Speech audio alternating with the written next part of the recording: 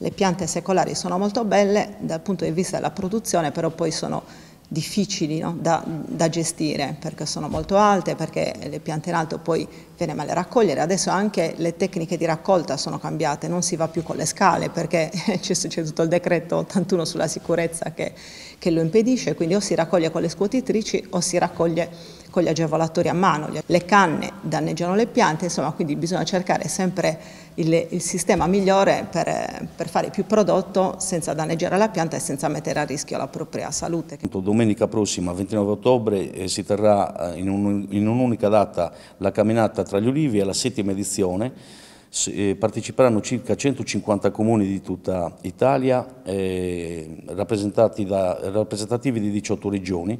La Sardegna anche quest'anno, oh, se non ricordo male, siamo la seconda regione per eh, soci che parteciperanno, ben 17 comuni dal nord al sud dell'isola.